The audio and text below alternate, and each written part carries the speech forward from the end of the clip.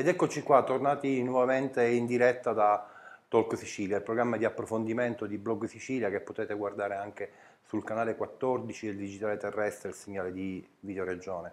E l'estate sembra non voler finire mai, probabilmente perché quello che si annuncia appena iniziato, come appena iniziato, è un autunno veramente caldo.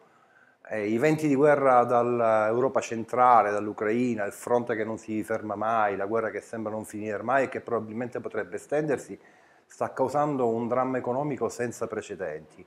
E i primi a cadere probabilmente potrebbero essere quei piccoli esercizi artigianali che rappresentano il meglio della produzione del nostro territorio. Ma parliamo anche di imprese che sono essenziali perché rappresentano l'alimento base per eccellenza, il pane. Oggi in studio abbiamo con noi Angelo Chiarello, da 40 anni panificatore. Benvenuto Angelo. Buongiorno anche a voi e grazie della vostra disponibilità di far sentire la nostra voce. Sì, noi abbiamo scelto questa volta di evitare di far parlare di crisi economica i politici, i sapienti, i dotti, ma vogliamo parlare con Angelo perché è un uomo che ha le cicatrici delle bollette energetiche sulla sua pelle. Che, Angelo, che sta succedendo? Non lo sappiamo neanche noi perché ci stanno rivoltando così contro questa energia elettrica, perché non sappiamo la motivazione. In realtà il problema è una crisi che è nata già prima della guerra in Ucraina. Facciamo degli esempi chiari per chi ci ascolta.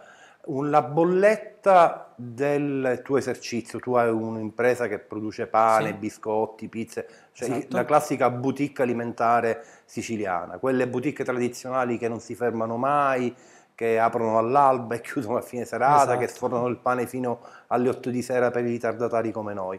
È una cosa unica al mondo probabilmente avere il pane caldo e croccante, ma probabilmente è, un, è un, una dolcezza, un vizio che ci possiamo dimenticare se continua avanti così. Certo, perché a noi ci stanno proprio, siamo compromessi noi, perché stiamo dando delle brutte batoste, prima con le materie prime e ora con la luce.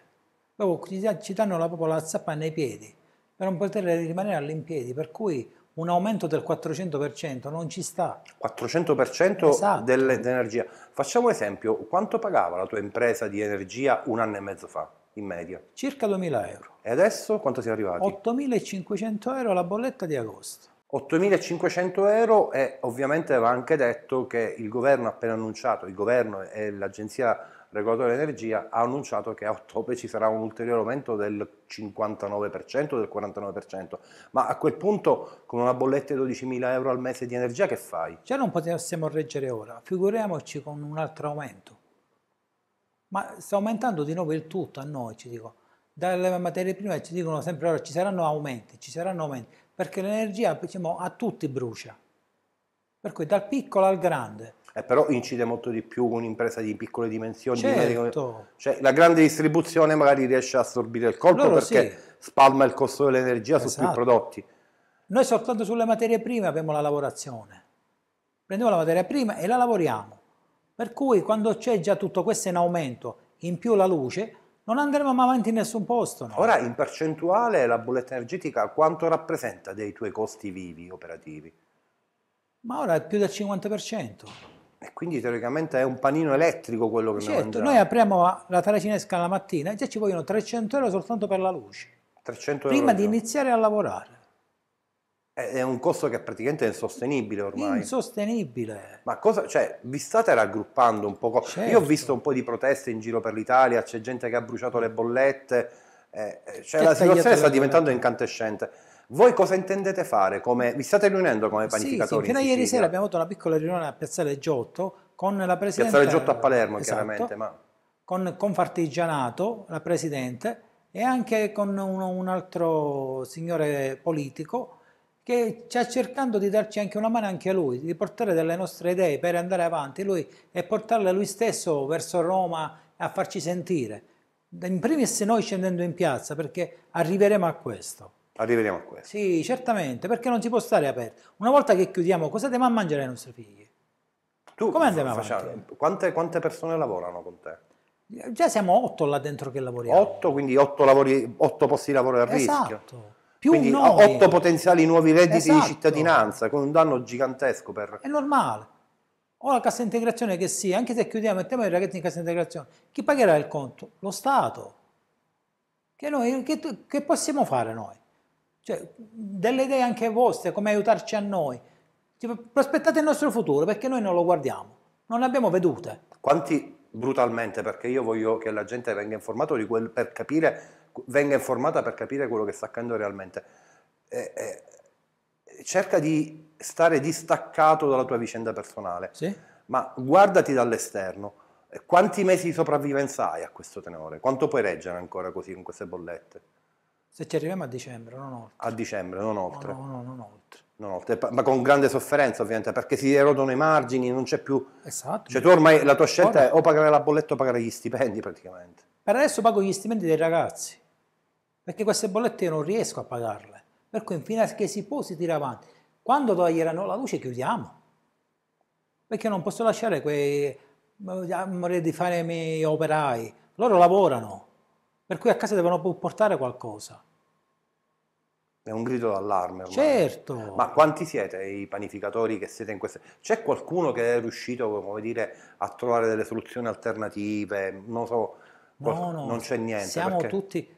Chi perché ancora siete c'ha- imprese artigianali, non c'è c'ha ancora dei vecchi contratti, ma lo sai che a dicembre anche lui dovrà pagare quello che verrà. Ah, perché praticamente c'è da raccontare questa cosa. Chi ha Certo. fatto il contratto sul libero mercato oggi è particolarmente penalizzato. Sì, noi sì. Allora, chi è ancora sul tutelato, ma anche a loro stanno per cambiare le cose. No, stanno per cambiare, sì, è chiaro. Loro per ora sono, siamo, fra virgolette, un po' protetti. Noi no. Noi sul mercato libero abbiamo proprio da Il mercato libero era necessario farlo in quel momento perché si prospettava una diminuzione dei costi notevole. E, e invece no. È stato un suicidio Sì. praticamente. Che poi non capiamo perché l'elettricità deve avere questo balzo così alto. Che non c'entra niente con la guerra del gas, con la guerra No, no, della luce. Purtroppo l'abbiamo scoperto come funziona perché eh, in pratica il, il prezzo del gas c'entra veramente poco perché l'Italia compra il gas a un prezzo stabilito con la Russia dieci anni fa e non è cambiato. Esatto. Il problema è che l'energia viene venduta rispetto al prezzo del gas che viene fissato ogni giorno dalla borsa di Amsterdam dove si, vengono- dove si vende il gas virtuale e quindi questo fa lievitare il prezzo dell'energia.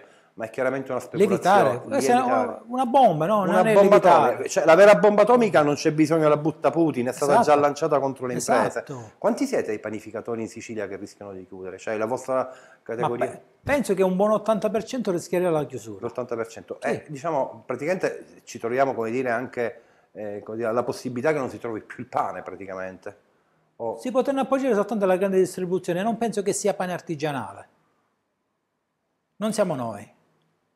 Noi fino a tarda sera sforniamo Ma pane non è caldo. che cioè, tu mi stai portando sulle tracce di quel famoso complotto di Agenda 2030 che dice bisogna produrre meno, produrre tutti, la produzione deve essere fatta dalle grandi gruppi industriali e dai piccoli artigiani. Non è che c'è Ma- un attacco continuo alla piccola e ma media di, impresa ma di siciliana. fatti se, se poi mi Italiana, informate non siciliana. in Germania o in Francia che sia, queste grandi distribuzioni vanno avanti.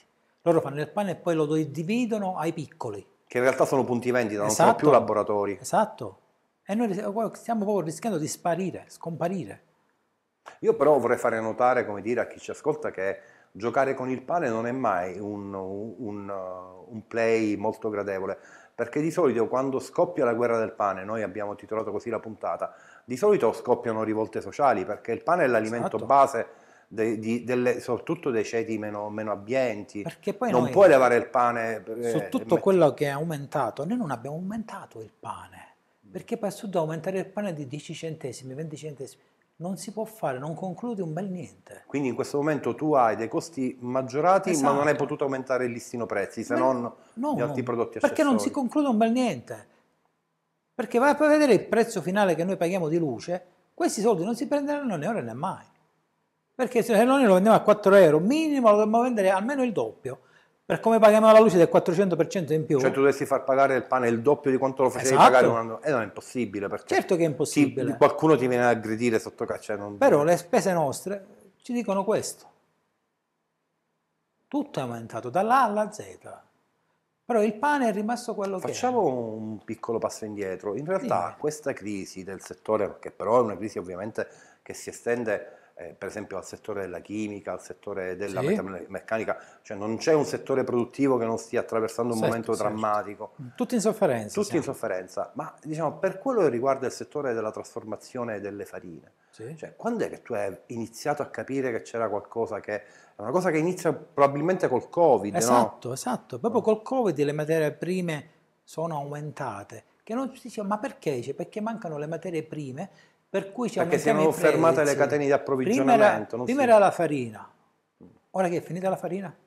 Beh, la farina c'è qualche difficoltà a ottenerla. Non è eh, vero, perché ma quella ucraina non arriva qui, è chiaro. Non è vero, perché noi qua in Sicilia abbiamo il Belgranaio d'Italia. Sempre Eh, detto però, questo. però, mh, Eh. lavori con farina siciliana, ce la fai, è Noi, sufficiente. noi potremmo, noi potremmo. potremmo. È assurdo portare le Ma farine. allora a questo punto va fatto anche un discorso Certo. autarchico, riappropriamoci del nostro territorio, lavoriamo... Esatto, esatto, sì. Cioè, ma tu non potresti fare una trasformazione, forse dico una sciocchezza, trasformare a, a- energia rinnovabile la tua impresa. Quanto No. tempo ci vuole? Impossibile. Impossibile, siamo in un palazzo. Siamo in un, la la tua azienda è in un palazzo e quindi a meno che non lo faccia l'intero condominio si doti di un... Ma comunque sono anni, non, non hai la possibilità di resistere No. anni a questa crisi. Ma è troppo l'assorbimento che abbiamo noi. Non è un palazzo che dico ogni casa c'ha un assorbimento. Beh, l'energia quanto vale nel vostro business? Cioè, materie prime pesano per X per cento, l'energia quanto pesa? Al di là del valore, come dire, economico che ormai è quadruplicato. Per, per adesso siamo, te l'ho detto, al 70% dell'energia che a noi brucia tanto. Poi le materie prime. È una, una cosa insostenibile. Esatto. La materia prima sì è aumentata, ma non ha avuto un, un costo del 400%, del 20% al massimo, del 25%, ma non del 400%. È una roba che non si è mai vista. No, completamente. Io in 40 anni che sono infilato nella farina, mai viste queste cose. Invece il- le farine, i prodotti della trasformazione, di quanto sono aumentati in percentuale negli ultimi due anni? Eravamo sui, sui 40 centesimi, oggi la paghiamo 80. Quindi quasi anche lì un, un raddoppio quasi, quasi il doppio. E, eh, come facciamo noi? Come dobbiamo sopravvivere? Io so che però comunque vi state organizzando per fare delle manifestazioni Sì, certo. pacifiche di protesta. Sì. Vi incontrerete questa sera a Palermo dove tutti i panificatori artigiani di Palermo, sì, ma in in Io sostanza che cosa chiedete al governo regionale e al governo nazionale? Di venirci Che peraltro in incontro. questo momento si devono ancora insediare, quindi Mm. grande punto interrogativo Esatto. su chi possa Sa- rispondere. Sa quando? Sa quando? Perché prima si doveva fare prima delle elezioni. Ora aspettiamo le elezioni, ci sono state. Aspetta, scusa, hai detto una cosa importante. Un provvedimento era stato promesso prima delle elezioni Esatto, sì. e non è stata mantenuta questa No. promessa. Sono spariti. No, no, no. no. Cioè, mi stai dicendo vi hanno chiesto i voti e poi sono spariti? Completamente. Chi parlava a destra e chi parlava a Completamente sì sinistra. o completamente no? Proprio non li conosciamo. Ah, sono spariti, praticamente, se ne sono andati. Più io sono stato dal vicepresidente della regione a parlare con altri cinque panificatori. Gli abbiamo detto quello che a noi mancava, quello che potremmo fare. Lui ci ha detto vediamo di fare qualcosa Vediamo di fare qualcosa prima delle elezioni o dopo? Hai detto prima. prima delle elezioni. È scom- è scomparso È il scomparso. signor Armao. Va bene, questo diciamo, ti assume, eh, io, il professor Armao ha la querela facile, poi ovviamente Sì, sì. chiederemo la replica al professor Armao per capire che cosa è Certo, successo, certo. perché immagino che probabilmente non sia così semplice dare una risposta alla, dire, alle difficoltà economiche Però estreme. no- noi che siamo a statuto speciale, penso, penso, non so se statuto speciale a cosa serve, per quello che, dobbiamo, che abbiamo bisogno noi. Ecco, cosa Qualcosa si appunto? potrebbe fare. Perché non aiutarci loro a pagare queste bollette della luce? Eh, probabilmente perché la regione è in difficoltà finanziaria pure lì, eh. non ha tante capito. risorse. Ma una domanda così... Il, P- Ah, il sta PNRR... si sta rovesciando, mi fai tu le domande. Eh, esatto. Il PNRR Ah, non ma- potrebbe darci aiuto anche a noi. Eh, purtroppo credo di no, perché non sono, questi potrebbero poi rivelarsi aiuti, aiuti di Stato, sono vietati dalla Ma di fatto a noi serve lo europea. Stato che ci aiuta. Eh, però ai sensi dell'Unione Europea, cioè il stai arrivando come dire al vero problema, perché si stanno, queste crisi stanno mettendo alla- come dire, in evidenza la difficoltà di rimanere coesi attorno al concetto di Unione Europea. La Germania sta risolvendo il problema dell'energia mettendo soldi suoi, Esatto. una cosa che noi non possiamo fare. Perché? La Germania che è diversa da Eh, come diciamo, non, ha, non ha il il bilancio in deficit come quello italiano. La Germania ha messo 200 miliardi sul tavolo per aiutare i suoi imprenditori e le famiglie. Noi siamo in difficoltà perché non possiamo usare questi soldi. Però, Però questo significa che non ci sarà più il, una politica finanziaria comune europea, quindi si sta sbriciolando questa... Certo, io non do torta alla Meroni quando ci dice noi siamo italiani, dobbiamo salvaguardare l'Italia. Così invece sta guardando l'Europa, che a noi per noi cosa sta facendo? Nulla. Il tetto del gas non lo vogliono mettere, l'elettricità non la vogliono dividere. E dividere in che senso? Cioè... Il gas da un lato, l'elettricità dall'altra parte. Ah certo, perché tu hai parlato della bolletta, ma è pure una bolletta del gas che ti arriva in azienda? Sì, ma non, non, non è così tanto. esosa. Perché comunque non è un, problem- un momento di lavorazione molto esatto. impegnativo. A noi no, però penso che quelle che faranno cucina, eh, almeno Beh, questo è quello. I ristoranti e le pizzerie cadono esatto. come se fossero sì, dire, sì. pezzettini del Lego. Anche chi c'è i forni a gas la sente questa botta. Sì, sì quindi è un momento molto complicato e difficile. Sì. Allora, voi oggi in questi giorni vi riunirete, eh, diciamo sul tavolo praticamente che cosa chiedete al, a chi vi ascolterà, che sia il governo regionale? Aiuti, lic- liquidità a noi serve per Soldi. poter pagare queste bollette. Pochi maledetti e subito per, esatto. pagare, per, pagare, le bollette. Perché noi queste bollette li possiamo pagare massimo al 20% del loro valore. Perché, massimo, perché il 20% rappresenta quello che esatto. voi avete esatto. pagato. Esatto, in cui noi andavamo avanti, non è che eravamo ricchi, andavamo avanti. Io garantisco là dentro che siamo 10 persone che lavoriamo compreso noi. Quindi oltre alla famiglia, come dire, qualche... E con noi stessi va avanti anche Beh, lo Stato. famiglia familiare. Va avanti certo, anche lo Stato. Le tasse, perché noi paghiamo tutte le tasse e tutte cose. E se poi decidiamo di non pagare più nulla? Perché non puoi, con le spalle al muro come fai? È giusto. Mangio o pago le tasse? Beh, detto che un panificatore riesca, come dire, a porsi il problema di non riuscire più a mangiare, vuol dire che certo. la crisi sta assumendo dei contorni Ma veramente spettrali. Ma io vedo i miei operai che mi dicono, signor Carello è arrivato 500 ore di luce a casa, come faccio? Quindi c'è anche questo aspetto. Certo, mi può anticipare, mi può aiutare. E mi mettono anche con le spalle al muro, giustamente. Sono operai. Il sistema bancario una mano te la dà? Credito? Però certo. ti sta indebitando. Esatto, là voglio arrivare io. Se mi arriva una belletta di 8.500 euro, come mi metto un peso sopra per poter pagare delle bollette così? Non è che soltanto un mese mi arriva quella, pazienza, paghiamo quella, poi andremo avanti. 8.000 euro al mese, poi a un certo no, punto no, la no, banca chiude il rubinetto. Cui, appunto, non posso sostenere queste spese. A noi serve chi ce li dà questi soldi per poter andare avanti. Dicono che la regione sta facendo qualcosa. Quanto, avete fatto un calcolo di quanto servirebbe per coprire le necessità del vostro settore, almeno del vostro settore? No. Ma parliamo di 30-40 mm, milioni di euro, immagino, siano certo. sufficienti. Se già c'è un, un aumento del 400%. Scusa, posso farti una domanda un poco crudele? Certo. Eh, eh, diciamo, mm, il problema del pane è un problema del pane, il caro pane del, legato sì. alla bolletta del gas che è esplosa è un problema che diciamo, si, si, registra in tutta Europa e probabilmente anche in altri paesi mm-hmm. extraeuropei.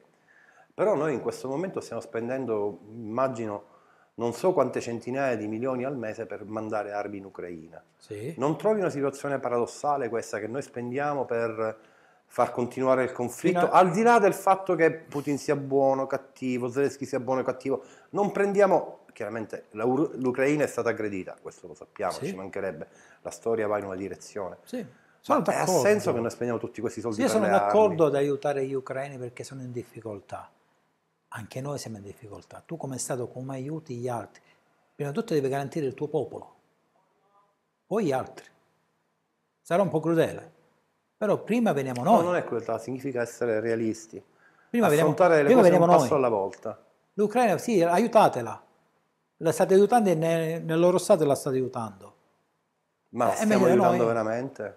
Boh, non fa? lo so. Questo è un argomento troppo, esatto, troppo esatto. distante per noi che ci occupiamo Però, della sussistenza quotidiana. E noi che siamo in difficoltà cosa dobbiamo fare? Abbiamo il nostro Presidente che chiediamo aiuto anche a lui? Per Draghi non si poteva, alla serve, serve un Zelensky per eh, risolvere il problema Scusi. delle bollette. Cioè, se col pio di Zelensky andiamo lì e facciamo... Io ho bisogno di voi, aiutatemi. aiutatemi. Andiamo così? Quindi ci vuole anche, questa diciamo è satira politica, ci vuole un po' più di piglio, di carattere, di polso esatto. per bu- bu- far bussare i, pu- i pugni Ma sul tavolo dell'Unione Europea. Molti miei colleghi per dire a Napoli o altre città hanno fatto de- delle manifestazioni, ma quanto vedo non, non vedo lo Stato che si muove. Nulla. Ma c'è il rischio che diventi una protesta anche un po' più vibrante c'è. e decisa, Beh, normale. No? A lei quando manca il pane, il pane, per i suoi figli, lei cosa fa? Beh, io divento pazzo probabilmente. Giusto. Giusto. E non siamo soltanto noi. Chi lavora per noi rischia di stare in mezzo sì, alla strada. È un moltiplicatore infinito. Certo, è perché... una cosa sociale proprio. Quindi lo sapevamo che sarebbe stato un, un autunno caldo, ma non, non, immaginavamo che potesse essere realmente così caldo. Perché pensate un poco, eh, mi, mi, mi, rivolgo sia ad Angelo Chiarello, che è stato così gentile essere nostro ospite, ma anche chi ci ascolta, se la crisi sta colpendo in maniera, in maniera così dura il settore del bene primario per antonomasia che è il pane, Immaginate tutto il resto del settore produttivo in che difficoltà si trova. Penso alla zootecnia, penso al settore delle produzioni eh, agroalimentari, penso al settore anche delle piccole imprese artigiane. Ma come fanno? Noi ogni settimana facciamo degli ordini e ci dicono vedi che è aumentato. Sempre vedi aumenta, che è aumentato, aumenta. vedi che è aumentato. E noi, Sembra, non si vede, non si vede ogni luce. settimana dobbiamo aumentare qualcosa anche noi. E là scoppia veramente una rivolta popolare. Noi al banco abbiamo dei problemi con le persone, con il cliente finale. Ma qualcuno già è andato? Certo. Si è, no, si va di testa giustamente. Va di testa. Ma certo, magari un povero disoccupato, se gli aumenti di 10 centesimi il panino, che è l'unico panino che si mangia al giorno... Magari il pane, ma se ma, o la rosicceria, o la pizza, o, o la pasticceria che sia. Purtroppo noi abbiamo proprio, ci stanno mettendo con le spalle al muro. Allora, noi abbiamo raccolto questo grido d'allarme di Angelo Chiarello che testimonia, come dire, l'impegno di tutti i pianificatori, panificatori, non pianificatori, scusate, ma probabilmente servirebbero anche dei pianificatori per risolvere questa crisi. Io ringrazio Angelo perché in un momento così di crisi rubargli 25 minuti del suo tempo è già un dono prezioso. Esatto. E speriamo che tutto vada per il meglio, non oso dire andrà tutto bene perché quella frase ha portato veramente tanta sfiga. Angelo, che dirti, noi ti siamo vicini, Io, eh, noi vorremmo continuare eh, a raccontare la vostra storia sperando che eh, ci sia un'inversione di tendenza e che le cose iniziano dire, a andare nuovamente verso una, una direzione. Noi abbiamo fatto delle, delle, pressioni anche con, con partigianato, con commercio e stanno, abbiamo detto delle situazioni nostre, i nostri problemi, che lo dico, porteranno a Roma per noi. Vediamo. Vediamo. Va bene Angelo, ti ringrazio. Io ringrazio, ringrazio. nuovamente tutti coloro che ci hanno seguito, ovviamente è un tema molto caldo come questo fine estate abbastanza rovente. Eh, nuovamente grazie e speriamo che le cose vadano meglio. Buona serata e ci vediamo al prossimo appuntamento con Talk Sicilia.